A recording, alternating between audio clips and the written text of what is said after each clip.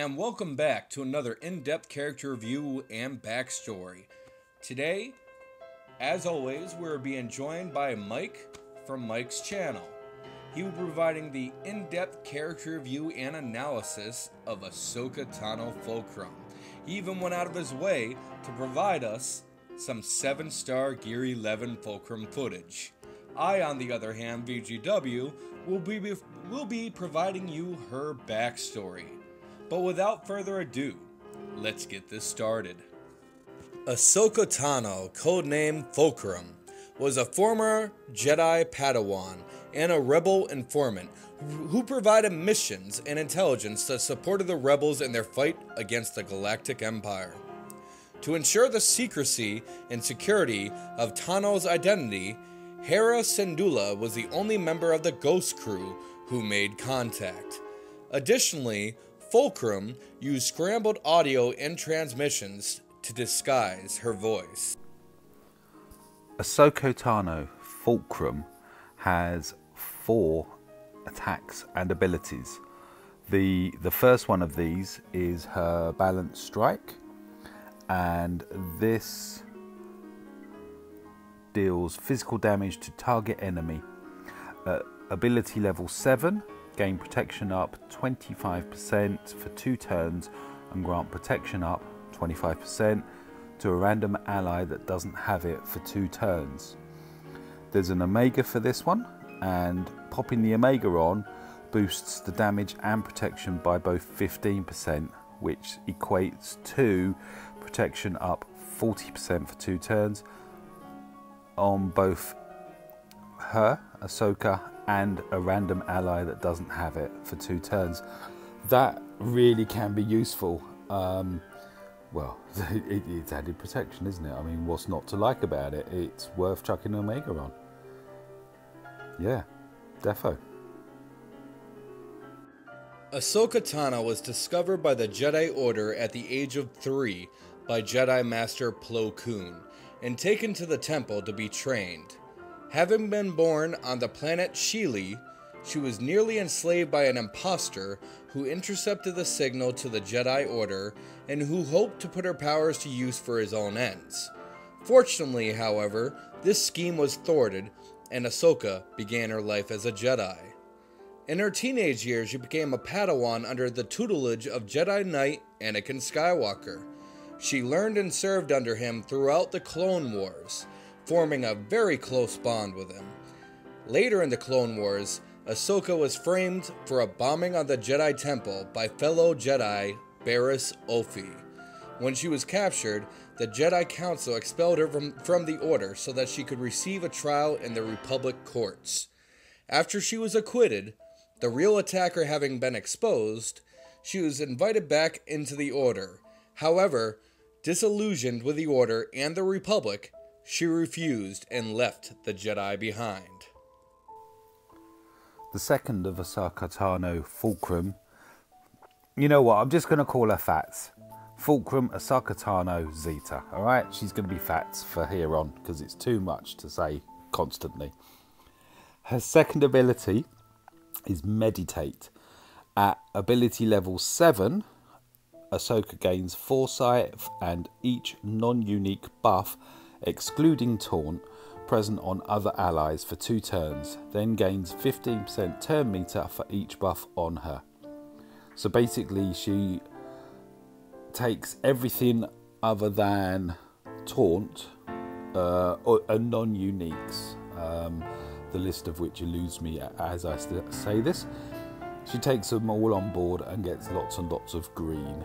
Um, this is prepping for her next ability, which we will come to.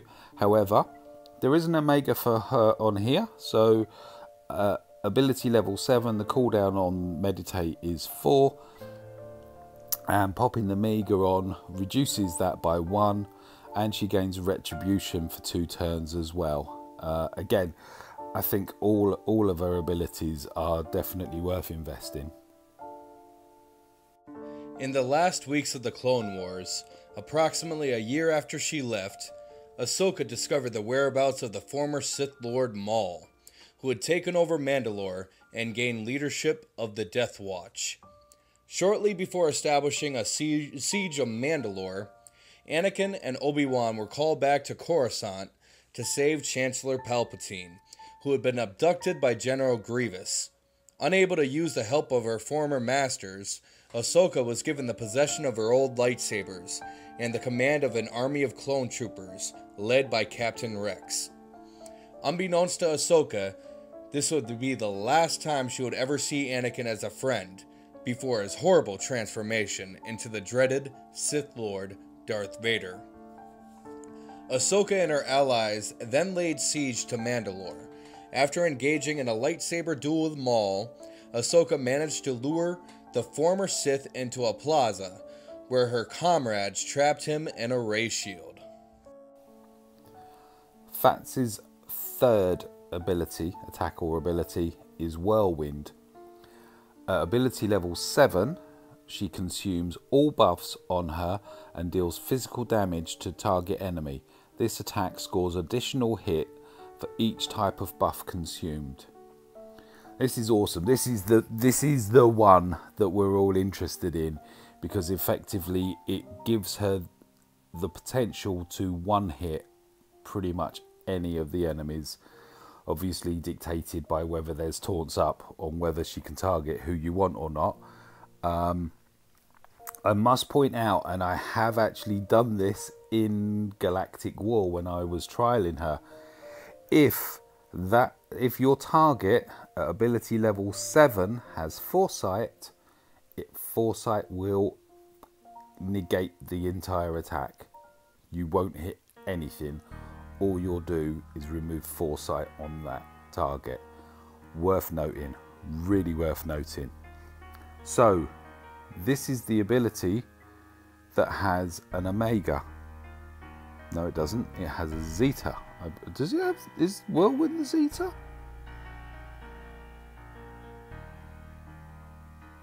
I do believe, yes, yes, it is. There we go. Just just been radioed in, but no, I haven't. Uh, I just remembered. Okay, so Whirlwind, the Zeta. So that's 20 Zetas, 16 Omegas, because this isn't a lead ability, which makes her very interesting because she can use her Zeta in pretty much any squad that you want to put her in. When you put the Zeta on her, that changes things considerably. So, the blurb still is consume all buffs on Ahsoka and deal physical damage to target enemy. This attack scores an additional hit for each type of buff consumed. Here's the Zeta. The target can't, can't as in cannot, evade and has minus 50% armor against this attack. This is where she really will do your damage. Definitely worth investing the Zeta on Whirlwind. All the efforts of Ahsoka and her allies, however, were undone when Palpatine, who was actually the Sith Lord Darth Sidious, enacted Order 66, a devastating command that turned the clones against the Jedi and wiped out most of them, including Ahsoka's former mentor, Plo Koon. As a result, the clone troopers under Ahsoka's command turned on her, with the exception of Rex, who had previously removed his inhibitor chip, an inorganic brain implant that compelled each clone trooper to comply with Order 66. As a result, Maul escaped once again, but Ahsoka and Rex were able to escape as well after faking their own deaths. After fleeing Mandalore, Ahsoka went into the Outer Rim, first to the planet Thabeska, and later to the moon of Raada. Under the alias of Ashla, Ahsoka befriended Kaeden Larte and made a life for herself in the farming community. Unfortunately, Imperial forces under Jenneth Pilar soon targeted the moon for their own purposes, leading to an Imperial occupation. Ahsoka and her new friends set about forming a resistance movement, but some of the farmers took too aggressive a stance and end up, ended up in a battle with the Imperials. As a result, Ahsoka was forced to employ her Jedi powers during a confrontation, which alerted an Inquisitor called the Sixth Brother to her presence on Raada. the fourth and last of Fat's attacks and abilities is Perseverance, and at ability level 7, Ahsoka is immune to damage over time effects. At the end of each turn, Ahsoka dispels all debuffs on herself and loses 11% health for each debuff dispelled, then recovers 4% health for each buff on her. This health loss can't defeat Ahsoka. So, this. She's already immune to damage over time effects. Um, this is kind of great and also somewhat her Achilles heel. If she's stacked with a load of debuffs, she's going to remove them, but at cost of her health, which is going to make her more vulnerable. Um, you know, they have to put some bits in here, uh, and that's what they've done. So, ability level 7, so that's just on purple mats, that's where she is. Again, she has an Omega, um, and uh, the Omega adds 1% health gain, minus 1 health loss, and 30% critical avoidance. Now that makes a big, big difference because obviously the critical avoidance just could save her as she's in her weakened state from clearing all these debuffs. I'll read the blurb out for, for the complete bit. So Ahsoka is immune to damage over time effects and gains 30% critical avoidance. At the end of each turn, Ahsoka dispels all debuffs on her and loses 10% health for each debuff dispelled, then recovers 5% health for each buff on her. This health loss can't defeat Ahsoka. Again, as I say, all the abilities are worth the Omegas and as and when you get the Zeta, definitely that one, because otherwise that is going to be so frustrating that you go, you want to put it onto the target, they've got foresight, you've either got to switch or wait and run the risk of having all her buffs cleared by a a Baze or a Ventress or a B2 or you know the list goes on and on or a Nihilus, so on and so forth. So yeah, timing is everything, as they say. Ahsoka dueled the Inquisitor, defeating him and causing his double bladed lightsaber to explode, unintentionally killing him in the process. She, th- she then took the Kyber crystals from his lightsaber and used them to craft a pair of white lightsabers.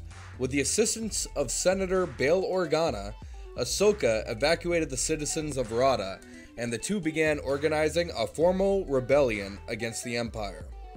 Working under the codename Fulcrum, Ahsoka provided the rebels of the Ghost with intelligence for missions in order to hit Imperial forces of interests. And those missions were part of a larger plan that the rebels were part of.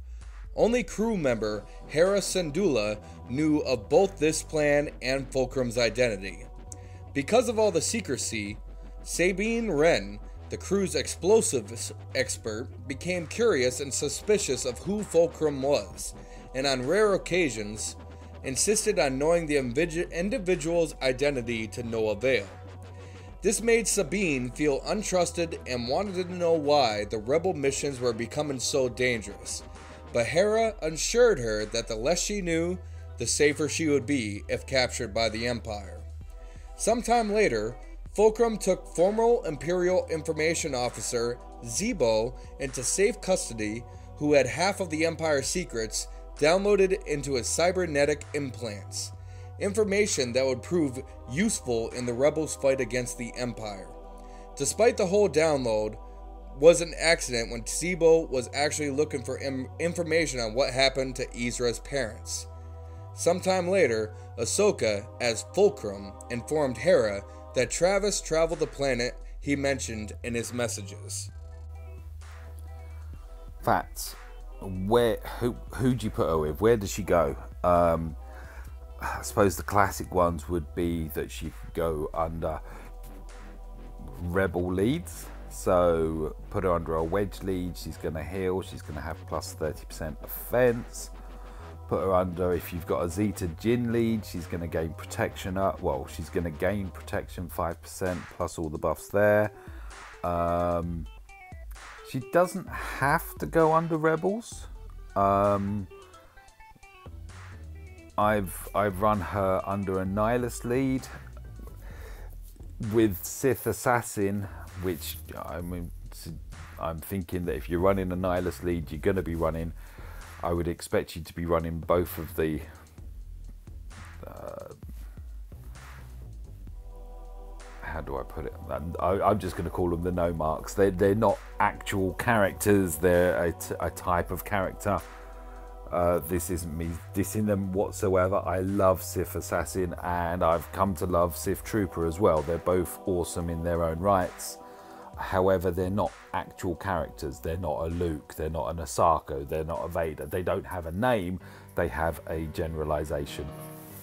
Uh, but with those in there, that enables uh, Ahsoka to collect up all their buffs through her meditate and then deliver them in whirlwind and it can be well it, it is effective you know she's she's another she i will put her for different reasons into kind of like the nihilus boba sort of thing that she has uh, she has a wonderful Zeta on her. It's not lead dependent, which allows her to be moved around. You can experiment with her in loads of different squads, and you're going to need the balance. Um, you know, you, have got to factor in she's not going to be removing taunts unless she can one hit said taunter and so on. But uh, yeah, yeah, definitely, definitely one to have there or thereabouts, and I would advise investing into her. Thank you for watching. When Kanan was captured by the Empire, Fulcrum contacted Hera and dissuaded from her attempt in rescuing him, after reminding her that Kanan understood the risks and Ezra, the crew's remaining Jedi, was too important to risk losing. Fulcrum informed her that the transmission they sent out had attracted a great deal of attention, not just from the citizens, but also from the highest levels of the Empire. Fulcrum urged Hera to take her crew into hiding to avoid further risks that would jeopardize their mission. Unfortunately, however, Hera was convinced by Ezra to continue to search for Kanan. During the mission to save Kanan from Mustafar, Chopper contacted Ahsoka for help when the rescue mission was going south. After the rebels saved Can- Kanan from the Sovereign and were being chased by TIE fighters, Ahsoka arrived in the Ghost with Chopper and the stolen Imperial freighter and three Alderaan cruisers to rescue them. Once in hyperspace, the rebels head over to the Ghost where Ahsoka reveals herself to them. She then tells the rebels that Ezra's message has given hope to many people and that one chapter in Ezra's journey has closed and that it was a new beginning for the rebellion. Now, there is more to this backstory, but I want you guys to go out and go watch Star Wars Rebels if you haven't already. And also, check out the Clone Wars. You can find Ahsoka Tano in both series. They are very good series. But that being said, that is going to be the end of our in depth character review and backstory. We hope you guys enjoyed it. We're sorry it's been over a week. Things have happened, but we wanted to come back with a bang. So we hope you guys enjoyed it. You got comments, suggestions, or anything else you want to mention, let us know in the comments below. But that being said, that's going to be the end of this video. We hope you guys enjoyed it. And until next time, enjoy yourself.